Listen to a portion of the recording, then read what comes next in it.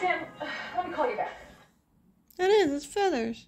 Mm-hmm. Five power pods with 85% more tide in every pod. Who needs that much more time? He does. what does that mean? It means you're gonna need more tide. See? More lights, more tide, more adorable, more tide. Everyone's gonna need You're gonna need More tide. That shit. It's a mess out there. That's why there's 85% more tide in every power pod. Oh, we didn't design an EV. Will you explain to me why I'm seeing that shit? I even have it on my video here. I'm watching it right now. It's not snowing out. Nope. There's no birds around, Nope. but there's feathers. Are they feathers or are they those?